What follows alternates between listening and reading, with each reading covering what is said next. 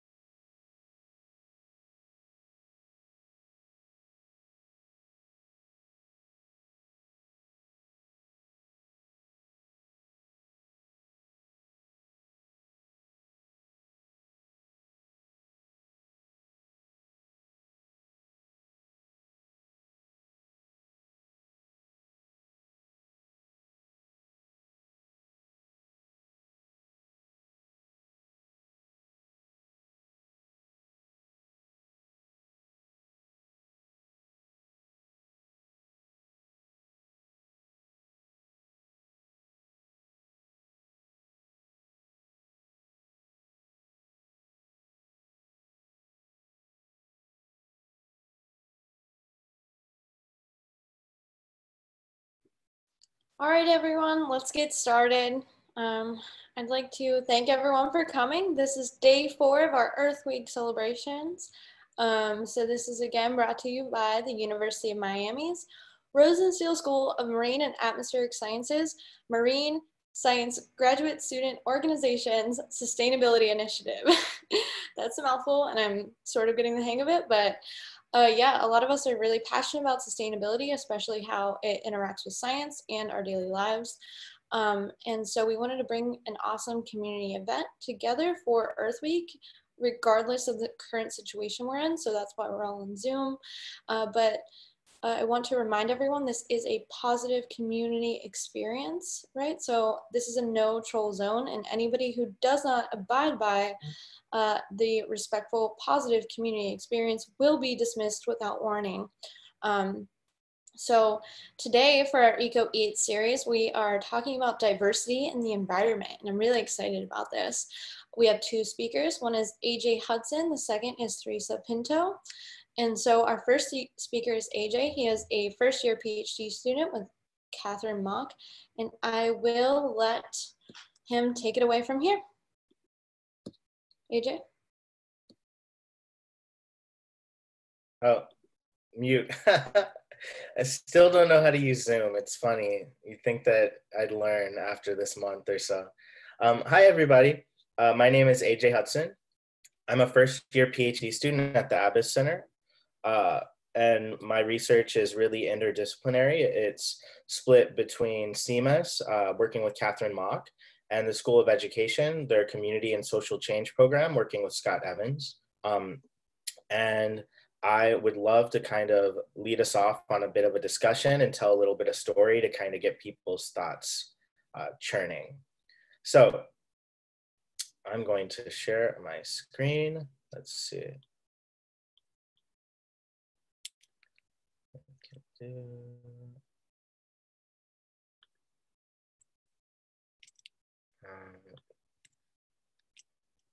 we go.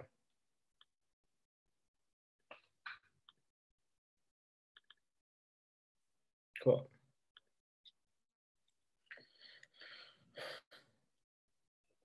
So, um, as usual, oh, this is presenter view. Of course it is. There we go. So as usual, I prepared way too much stuff. So I'm just gonna try and get through some of the things that I thought would be interesting. The topics I wanted to really broach today were issues of diversity, complicity, and what climate justice means.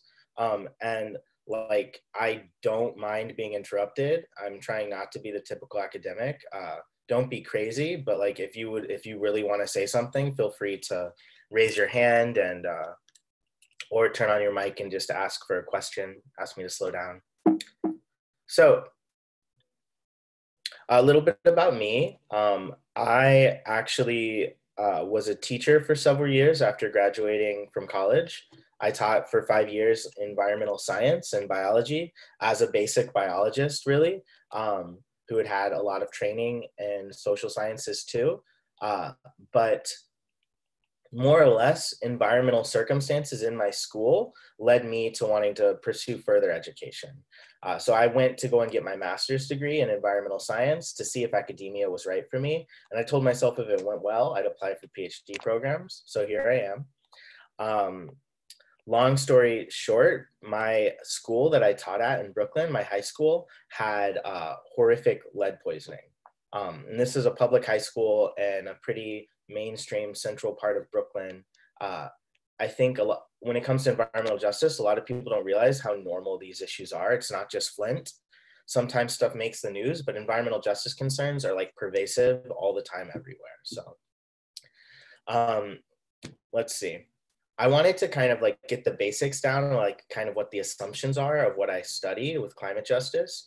Uh, so I like to take a temporal viewpoint when it comes to climate justice. Um, and this is something I'm happy to talk more about with anyone. Uh, but basically, there's a couple assumptions, and I wanted to get these out of the way uh, so that people can kind of know what my perspective is before I start talking about diversity. So, wealthy and white countries, for the most part, caused climate change effectively. And they also, this is the important part when it comes to justice, profited the most from the burning of the fossil fuels that led to the emissions. These are things that we don't normally talk about when we talk about carbon uh, dioxide, right? We kind of reduce the issue to just a chemical issue. But this is an important tenet of climate justice. Um, the second part, and this isn't in the past, this is more in the present, people of color and the poor people of the world do not have a seat at the table in the current climate change conversations, treaties, negotiations. Uh, within within countries, it's mostly the wealthy that lead, and it's mostly people who don't have to deal with living next to petroleum plants or who have to deal with uh, their homes being flooded and heat stroke and all these other things that climate is going to bring, all the impacts climate is going to bring. These people who are making the decisions, for the most part, are not the people who are facing the consequences. So that's like the issue of the present tension. And then the third one, which is also true right now, right? All of these kind of it's like these these temporal points blend. They're not clear divisions. Uh, is that people of color and the world's poor will actually face the majority of climate change consequences. Uh, and that's true right now already. So um, I was going to go over ground rules and norms, but you know we're not participating as much as usual, but we're still going to participate. So I would like to go over some. Uh, I guess I would say really important during these conversations is to recognize who you are and uh, if you have a problem with an idea, then like dismantle that idea. Don't attack people. Um, and also, I would love it if I heard some other voices to some of these questions. Um, but make sure you're if you're talking 25 times during the hour that we've talked today, you're probably talking too much, and you should like you know. And if you don't speak or write or annotate even once, then maybe you should try and step up a little bit. So, I wanted to start with this little uh, comic. So uh, I think this is more relevant than ever. You see the Earth walking out of a nurse's office, right? And uh, Jupiter, Big Mom Jupiter says, Now, now, children, now, now. And you see she's chastising the children because they're singing, Earth has people, Earth has people. Um, and I kind of want to ask, you know, what what does this mean? what's the joke here? Why is it funny? It's connected a lot to the work that I do and the work that I'm looking into, but I kind of want to give people an opportunity. What makes this funny? What's what's actually the joke here?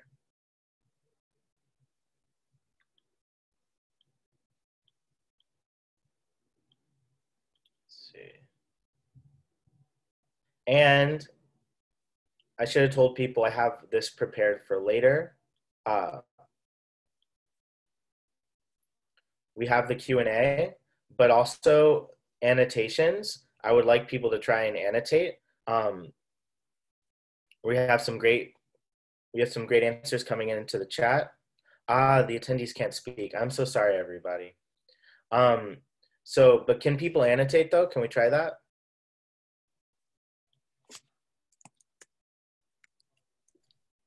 Um, yeah, unfortunately, due to the webinar security features, the attendees are not allowed to annotate. Uh, to avoid trolling? Okay, that's yes. okay.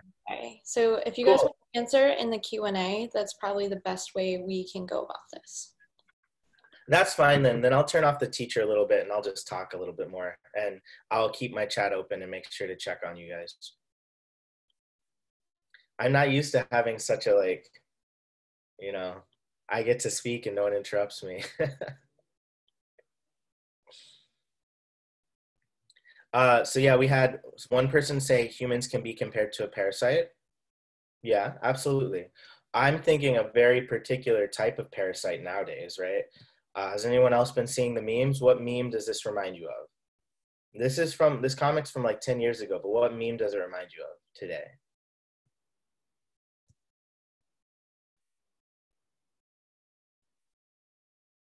Good. Megan says humans are like cooties.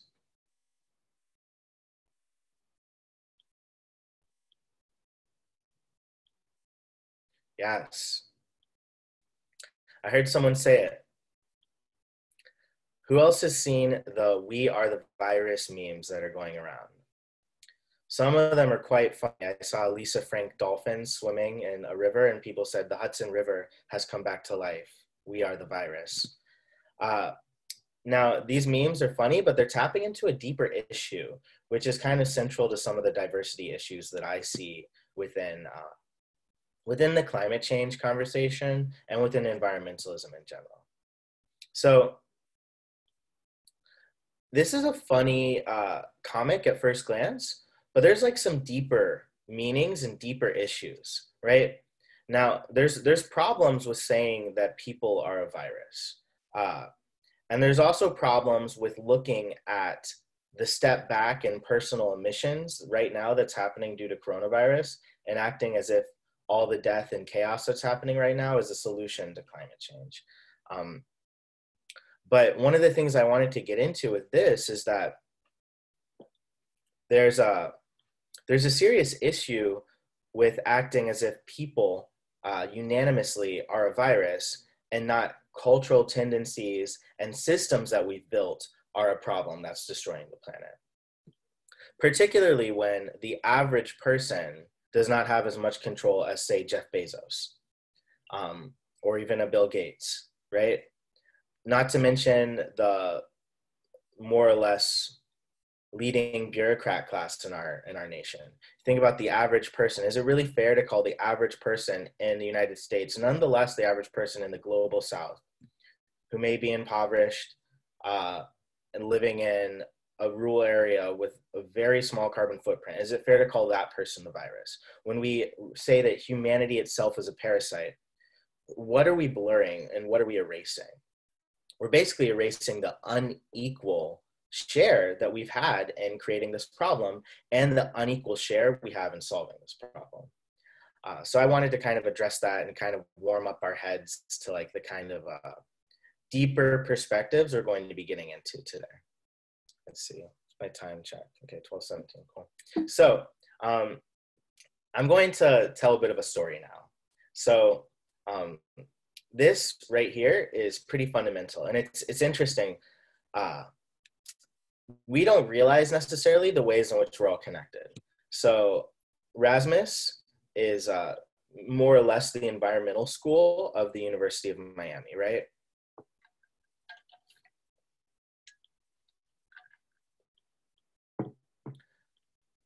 And so this is actually a photo from uh, the environmental school of uh, Yale, Yale University one of the oldest universities in our country. Um, and I went to Yale for my master's degree. And a lot of the hardship that I encountered at Yale around these topics is what really inspired me to continue to study and pursue them. This is a picture from the class of 1901. Uh, what do we notice in this photo? What are noticings we have? I keep switching to the next one. Yeah, not much is spoiled though. Um, let's see. Go ahead and answer in the chat if you can. Anything that people notice from this photo? Uh, this is the class of 1901, the first people to basically graduate with more or less an MPS degree, Master of Environmental Management and Forest Resource Management. Cool. Okay. They're all men we have in that they're all white. What about age? Is, it, is the age spread about the same? More or less, right? If we had to guess at the wealth status of these people in this image, what might we guess, considering it's 1900 at Yale University?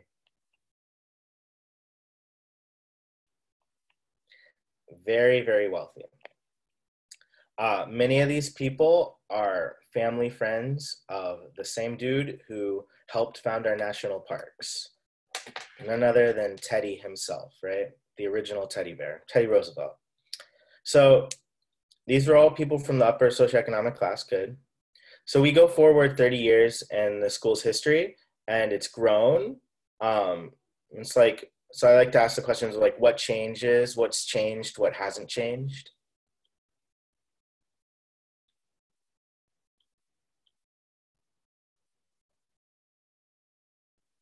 we notice anything that's changed?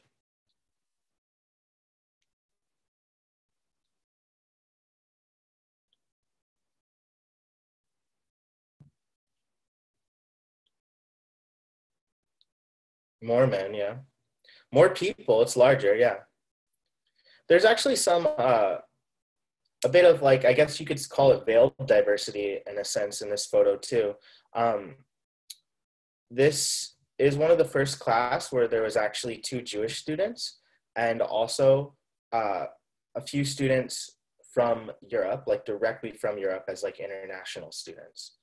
So uh, there, there's a bit of like veiled diversity hidden within um, what comes off as sameness, right?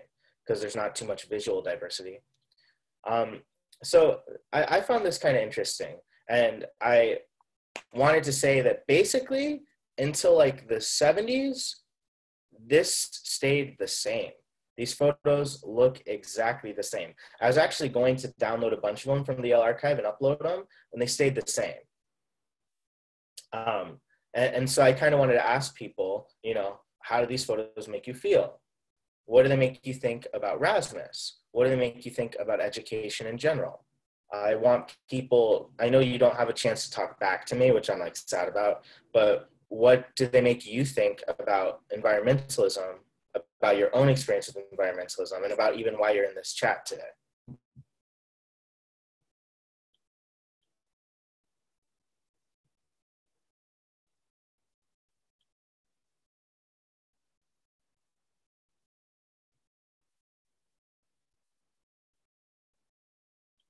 Okay. So go ahead and answer in the chat if you can, even as I move forward. Um, I love seeing what you guys are writing. So something changed uh, in like 1970, basically.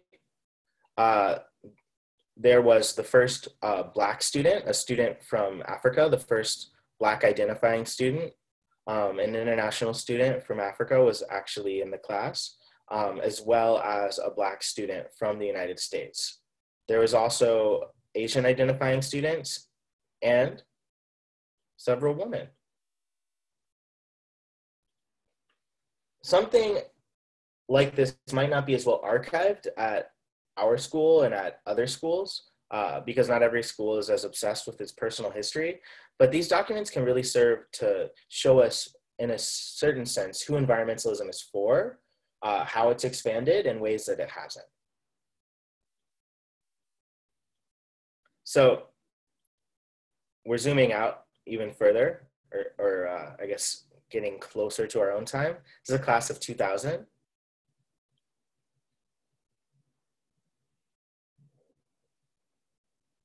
Oh, no worries about it.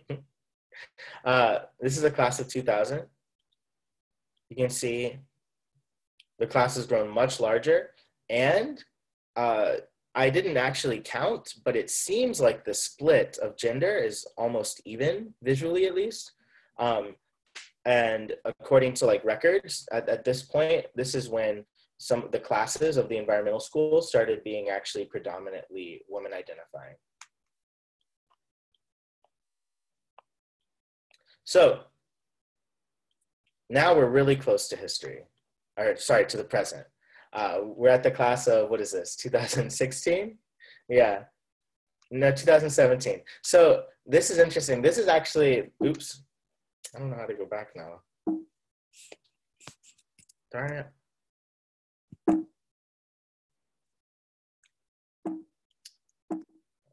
I don't know how to go back. Sorry, guys. Let's see.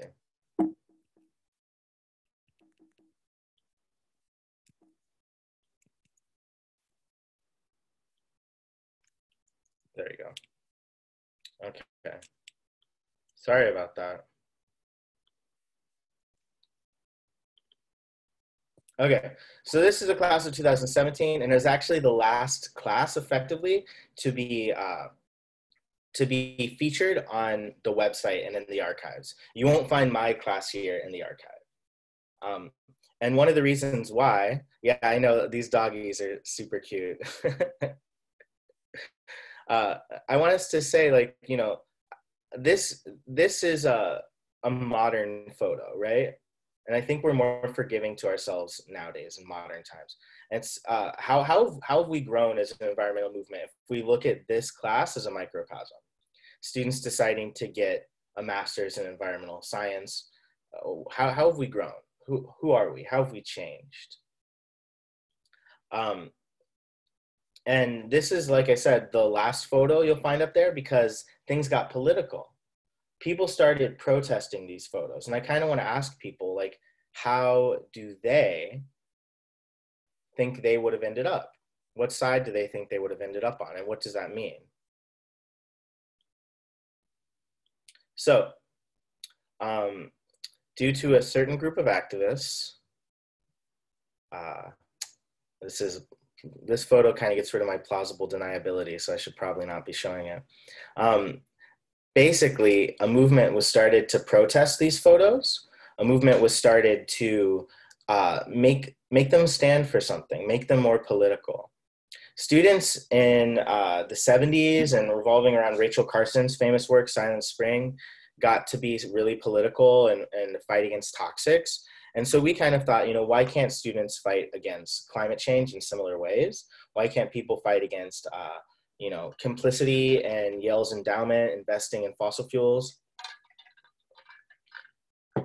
And uh, we decided to hold up banners in the photos. And these are the banners. One says Yale is complicit, climate justice now. And the other one basically says uh, center the struggle of people of color in the environmental movement. Our school really, really struggled, um, in some ways, much more than RSMAS does, to include narratives and uh, the struggle of people of color within environmental conversations, to include those concerns, and to include topics like environmental justice as courses. So uh, these photos led to us using the banners, and we told everyone we would, uh, and that we would have a group of people at the front who wanted to hold up the banners. And there was a big split. People, there is, there is, I'll say there is about like five people who had nothing to do with making the banners who asked if they could join, and we said absolutely anyone who wants to hold the banner can join. But then the remaining people there was a big split between who wanted to have absolutely no banners in the photo and who wanted to have the banners in the photo. And so it was really an interesting issue of people feeling like they didn't want to make a political statement. They didn't want to make this photo political. They just wanted to have a class photo. They didn't want to have a political image uh, attached to them. And so I would kind of like to ask, you know, I know we can't vote in the way that I was hoping to because we can't do polls, um, but which side of this fight would you have landed on and why? And feel free to ask more like clarifying questions at this point too. Would you have been with the no banner side or the banner side? Would you have been with the this image shouldn't be political or this image should be political? And I'm not necessarily asking if you agree with what the signs say. I'm asking if you agree whether the signs should be there, if this is a place they should be. Um, and then this photo will be hung in Yale's halls, right? And anyone who walks in will see you there behind this sign, theoretically. Even though these ones, this photo never actually made it up onto uh, the Yale archive. It's not there yet. It's only been like a year, so We have one person who said banners. We have some great comments from, uh, let's see, Megan, still an issue, yep, okay. Amelia says banners, even if it's a controversial photo, it's starting a conversation.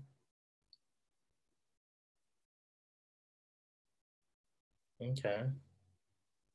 So one of the central things that uh, kept coming up in this conversation and became very vitriolic was that people didn't want the photo to be political, that it was supposed to be a celebratory, uh, happy thing, and that politics was mucking things up and kind of ruining it. Um, now, needless to say, I find protesting problems and like having a voice to be joyous for me, but I can understand that maybe not everyone finds politics to be something that's joyful or celebratory. Uh, but what my big contention is, and this is something that I would like to kind of take home as my my message, is that the photos were always political if we look back at the older photos, there was always a political statement around who Yale as an institution was, who environmentalism was, what Yale stood for, what environmentalism stood for, who was allowed to get a master's degree in environmentalism, who was allowed to have a seat at the table when it came to environmental management. all of these questions were answered very clearly and in some ways still are by the images we see in these photos. And it doesn't take a banner for us to be politically affirming. Now, really, what people meant when they said these photos were too political was that, that they were breaking the status quo. They thought that this was something that was upsetting what, what they considered normal and neutral. And that's really what I'm hoping for us to examine today. When we think about diversity, when we think back on who we are and how much the academy has grown and how little it hasn't, I want us to think about the ways in which not only are we are we complicit, but in which our idea of normal and what is normal versus what's rabble rousing, annoying, conflict, politics, upsetting, what is normal versus what is political, and how that defines change and what's allowed to change. Because if you're going to say that the protest photo with a group of majority people of color holding up a banner is political, then you're going to say that what's normal and right and justified without even meaning to say what you're saying is that those photos that were completely exclusionary without anyone in them that that was the norm and so I want us to try and question and even think and kind of hold ourselves accountable in our language as to what we consider political and what we consider apolitical. As scientists, we often like to tell ourselves our work is apolitical. But I think that these conversations and things that happen in our community, like this story, reveal to us that apolitical, neutral things typically are just normative. And that just means business as usual. So let's see. We have a couple people saying no banners. People worried about endorsement. That came up for sure. Um, great way to show people of color are still facing problems in different ways. Good, good. See. Okay, cool. Thank, thank you uh, for those of you putting your answers in here. This is great. Originally, I was going to have people just write straight onto the slides so that people could type out some answers, but you know we're being flexible. Um, okay, let's see. Yeah, uh, I want to make sure I save some time for Theresa, uh, as well as like any like questions at the end. So, um, I'm going to give people a chance to ask any like questions about the stuff that I just talked about before, you know, in my perspective, before I kind of hand over the mic.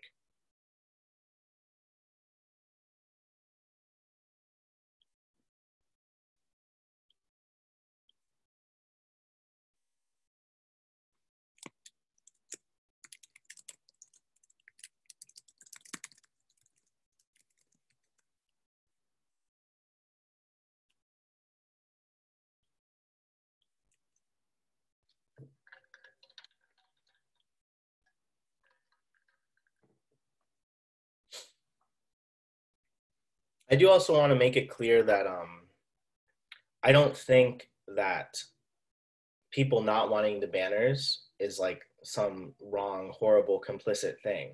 I just want to question how this issue comes up of what is political and what's not political. And uh, basically, this diversity talk, in a sense, I hope can serve as a reminder that for many people, there's not a we don't have a privilege of being apolitical because we're not represented in the academy. People who are lower income people of color people uh, who are queer don't necessarily have the same privilege around keeping things normal calm keeping things as they were and not upsetting. And so it is a privilege in a certain way to see things as apolitical uh, to be able to look back at the old photos without banners and see those as not being political statements too. So it's just something to question, something to think about, something to really probe ourselves with. Uh, and, and then, you know, not to be incriminating, but to say whether you want banners or not, to think about what that would mean for how you move through this world and how you move through environmentalism. AJ, I have a question. Yeah. Yeah. So I feel like, especially from a scientist perspective, you might get this feedback, and I'm curious how you respond to scientists in particular saying, Oh, well, I don't want to be political because I want to stick to the science. I don't want to lose my credibility. Yeah. Yeah, I definitely have heard this before. Um, I mean, I think there's two quick answers. I think one, it's a little bit too late for that. Uh, in this current era where science has become politicized while scientists have erred on the side of least drama, I think it's a bit too late for people to say they don't want to be political. Um, and then the other thing is I'd call to attention the fact that science has always been political. It evolved as a, a hobby for rich people, for people who weren't quite rich enough to be nobles, uh, for the sons who didn't inherit the property, but their parents had enough money to send them to Cambridge, right? Science has always been a political act. It's always been a political act to be able to examine the world. It's always been a political act to say that there's objective truth. And again, I would say anyone who's saying they don't want to be political, what they really mean is that they don't want to make a ruckus. They don't want to make too much noise. Uh, and I think it's important to acknowledge that. I think it's okay for you to say, like, I don't want to make too much noise. I don't want people to think I'm an activist because then people won't take me as seriously. Right. But even that is a political statement. Right. Even that is saying, like, well, what matters more to me is that people take me seriously than that I give an impassioned speech about why the environment matters, etc.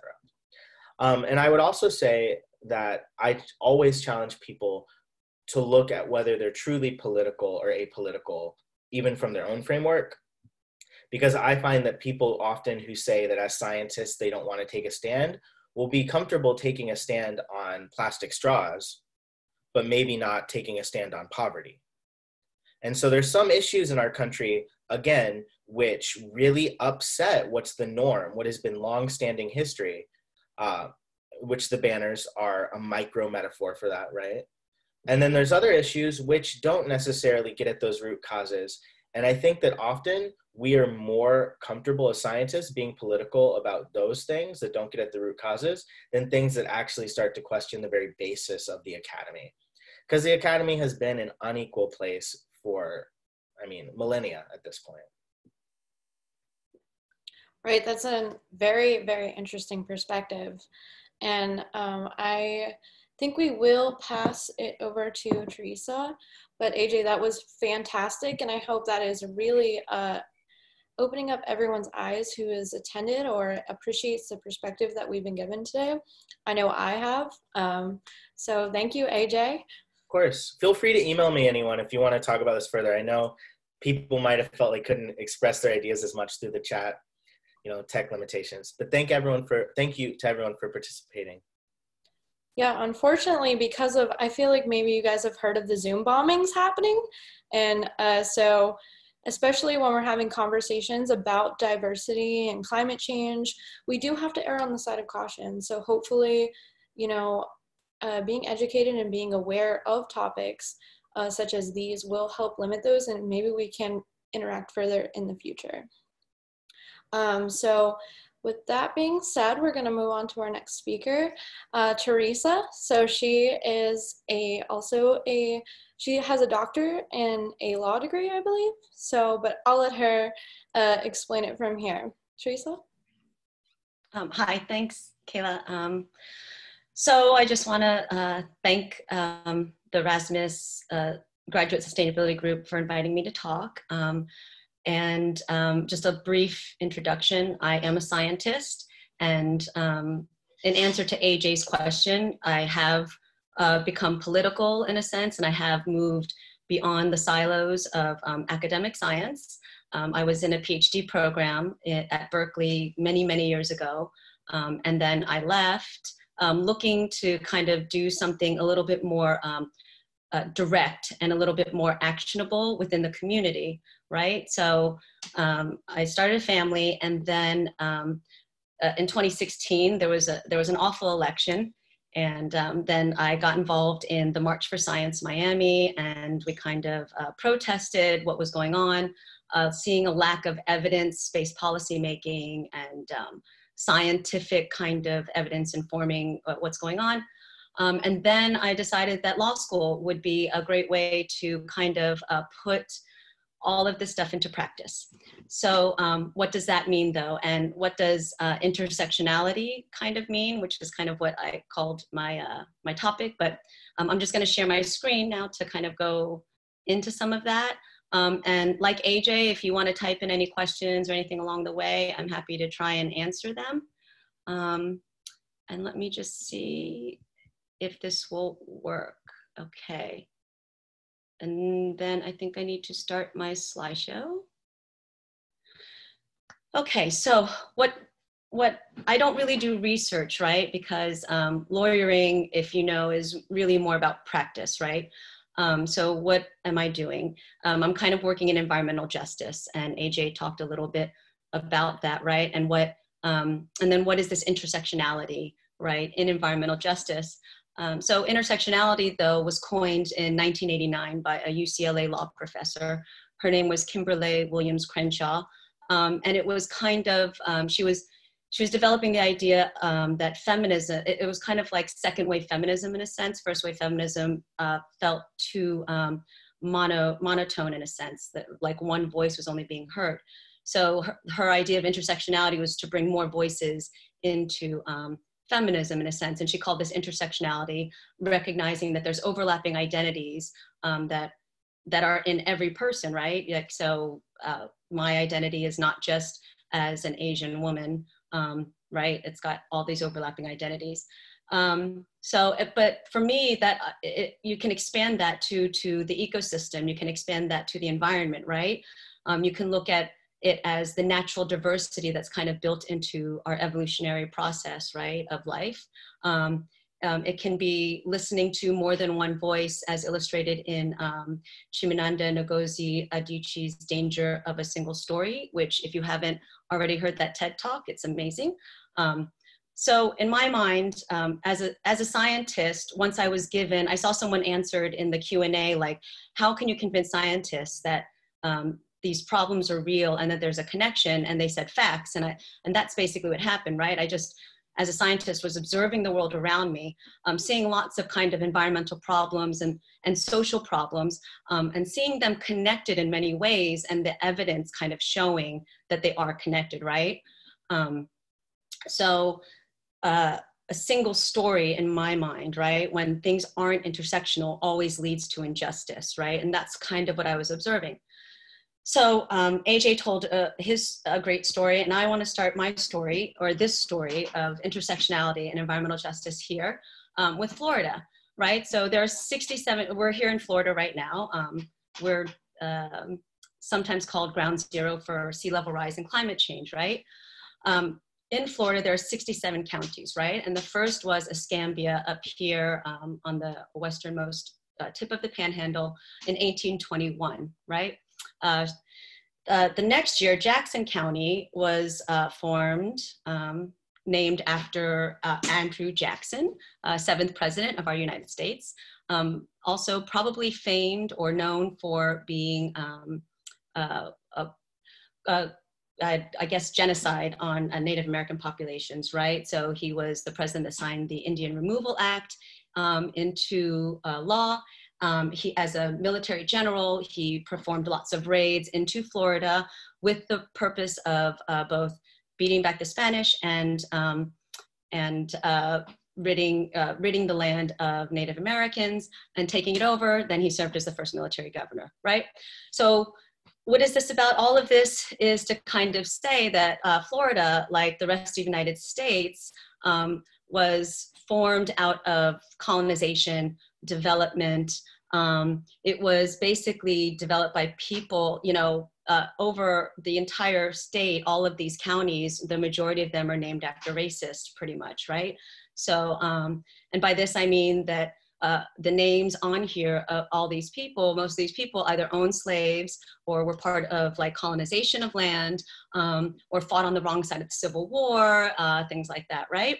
Um, so, and this includes Andrew Jackson, who Anthony Wallace writes in um, his book, The Long Bitter Trail, um, that Jacksonian democracy was about the extension of white supremacy across the North American continent, right? Um, and this goes hand in hand then with the development of that land and the environmental policy that went along with that um, colonization and development across the land, right? So all of this stuff throughout history, as AJ pointed out, is really tied together, right? And then you throw in people who believe that they have rightful dominion over nature, um, those who would pursue economic dominion over nature and people, right? And that's basically all of the counties. All of the counties are named for that. Um, so it's a familiar story in a sense, right?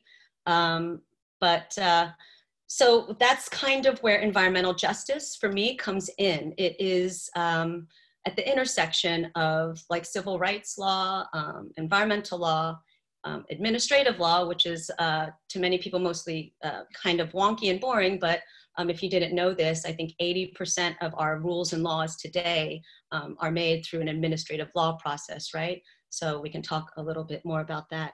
But um, so environmental justice, this is the definition that is um, put on our government websites, right?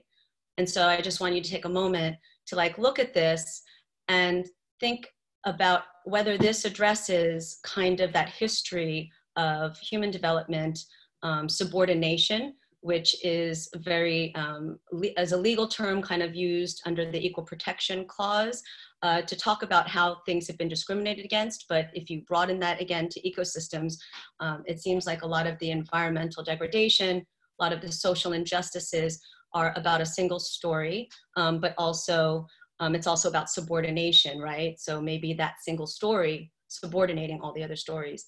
So this definition, I think, is good. Um, in 1994, uh, Clinton, uh, Bill Clinton, President Bill Clinton actually passed an executive order saying that all agencies and departments do have to consider environmental justice in their um, rulemaking.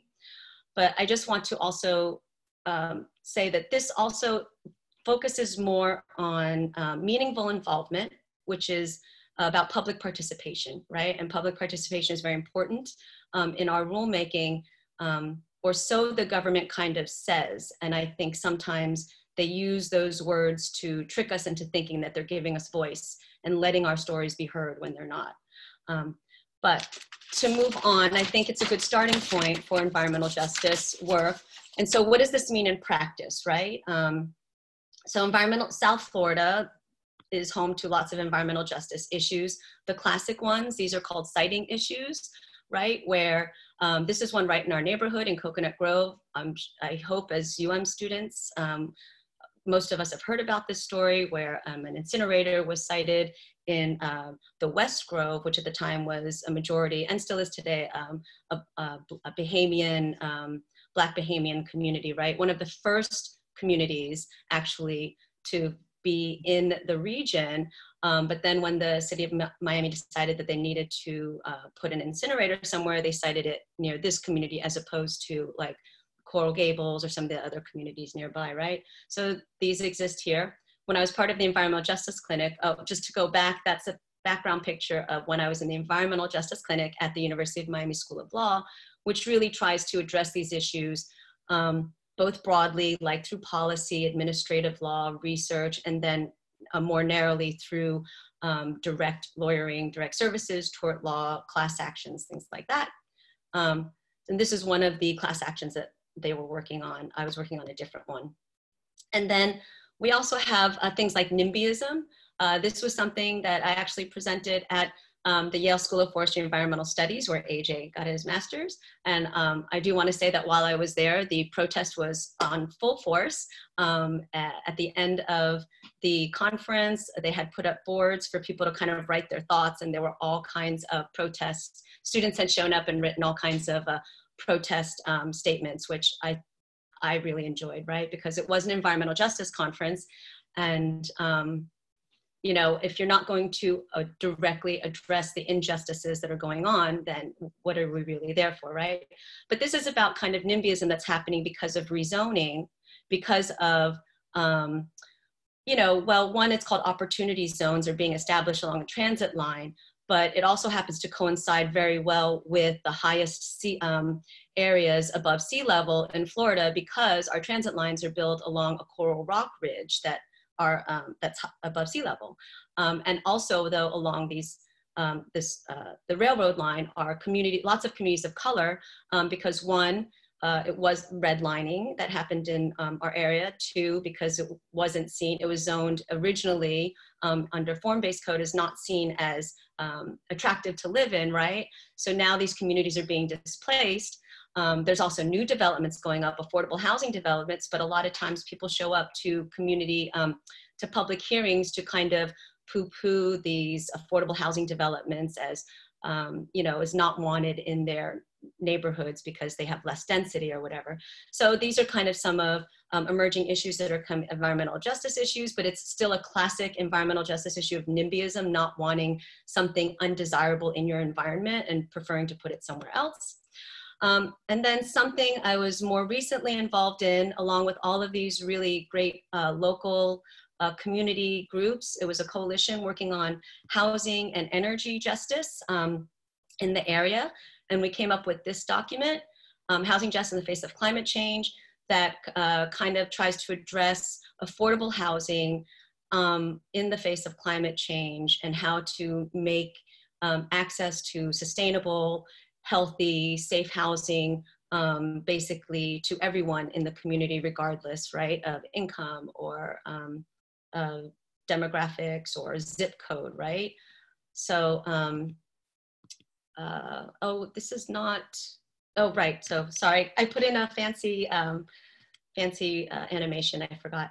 So another thing, even more recently that we're dealing with, um, so we know that like housing, right? So how is housing tied to, um, and people in housing and the built environment tied to the natural environment? So that's kind of what um, intersectionality comes in too, is trying to um, take down that unnatural barrier, right, between the natural and built environment, also as a way to kind of break up um, community action, right, in regards to both, right? So if you can separate people who are interested in saving nature, right, nature, what that is, and then people on the other side who are interested in saving uh, people or social justice and view them as completely separate, then we don't really address um, issues where they where there's very clear intersection of those right? And so one of that is housing as a social determinant of health.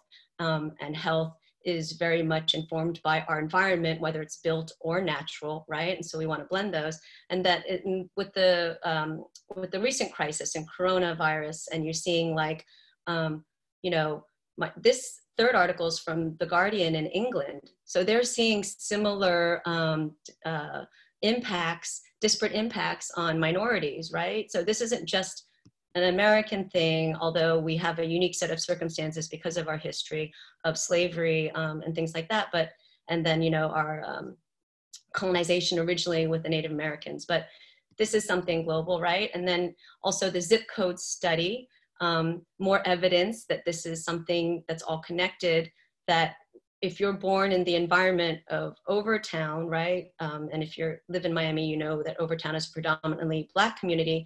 Um, your mortality is 15 years less than um, someone born in Brickell, and it doesn't matter um, income whether you adjust for things like that later on. Um, this pretty much holds throughout your life, right? So things like this. Uh, another emerging kind of environmental justice issue uh, is this um, disparity in access to clean energy, right? So as we're switching to a renewable um, energy economy, um, what happens to people who aren't um, adapted um, to be resilient or adapt, you know, or aren't able to kind of access the, the cleaner energy that um, other, that wealthier uh, communities are, right? and then just to end with uh, this, slide about science denialism. And maybe this is another uh, reason for scientists to get involved in politics. Um, it's not really being involved in politics. I think it's, it's if you're not in, not aware of what's going on politically, you're just um, contributing to the selective indifference that allows this kind of injustice to continue. Um, and I really do believe that the um, when people suffer, the environment suffers, and vice versa. And that you know that this barrier between the natural and built environment um, is really false. Um, and that, and then I'll leave you with this quote from The Danger of a Single Story and the reason why science, um, law, policy, all of this stuff um, has to kind of intersect to look towards the future. Because um, uh, when we realize that there's never a single story about any place, we regain a kind of paradise. Um, so and I'm sorry, when I was in my shared screen, I couldn't see if anyone was asking questions, even though I said to please pipe in, but I'm going to um, stop sharing my screen now, if I can. Nope, that wasn't it.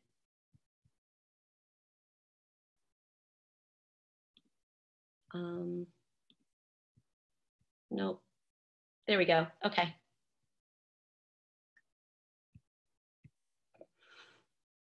So if there are any questions or comments, um, anything, um, have I stopped sharing my screen or not? I don't think I have. Yeah, you stopped. Okay. So, um, and that's pretty much uh, what I'm working on and what I'm thinking about. Theresa, that was awesome. Are there any questions?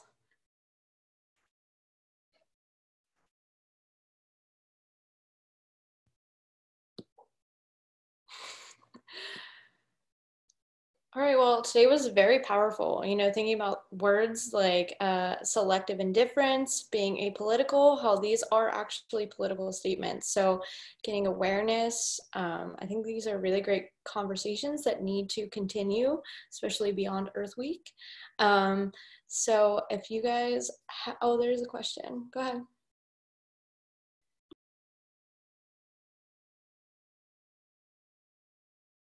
Um, like, uh, so you heard me talk a little bit about administrative law and uh, the tedious process. Administrative law is basically the way we make policy in the United States.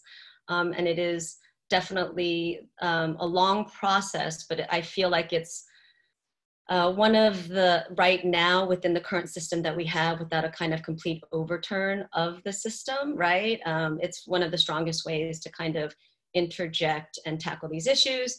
Um, and then you have something called impact litigation, which is um, I'm only in law school, so I'm not, you know, qualified to be like, yes, I'm going to do some sort of like um, impact litigation that will um, change these issues. But you could bring, um, you know, so a lot of times, like places like the Center for Biological Diversity and these uh, um, organ- organizations bring litigation to kind of change the laws of the land, right? So if we start maybe bringing uh, more litigation, looking at equal protection of people in the environment, let's say, or things like that, um, maybe that would make a, a, quicker difference. But no, in law school, they often talk about how law lags, basically. Law lags behind people and behind um, politics and all that kind of stuff. So that's why it's really important to also get involved, you know, preemptively rather than waiting for the law to kind of try and catch up.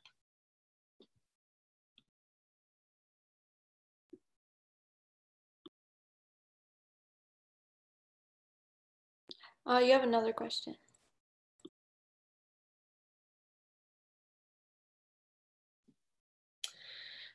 Uh, so uh, AJ too, I think uh, could probably address this, um, but I think it is really kind of uh, like I said, I, not one person can do it. It's not about listening to a single story. It's about everybody kind of combining their voices, um, coming together and and and doing activism. Um, and stuff like that. Um, and Cancer Alley in Louisiana, yeah, um, I believe they're actually slated to put up uh, more uh, factories and industry in that region. Um, plastic plastic uh, manufacturers.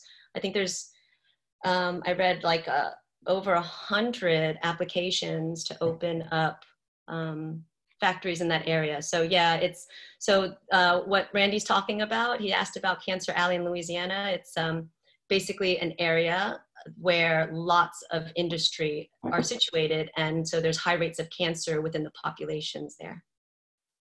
I'd also like to add, um, I love where the arts can intersect with our work.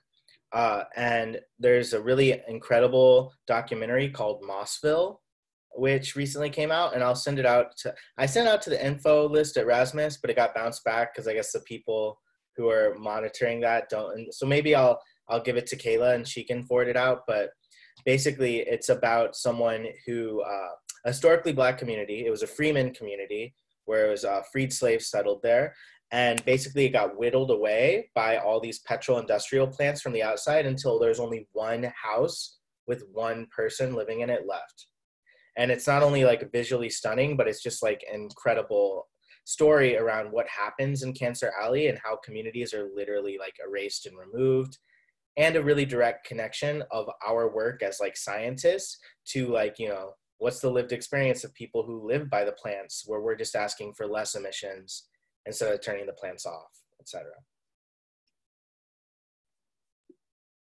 Yeah, AJ, if you want to send that over, I can try my hand at that too. Yeah, I'll shoot it to you. Yeah.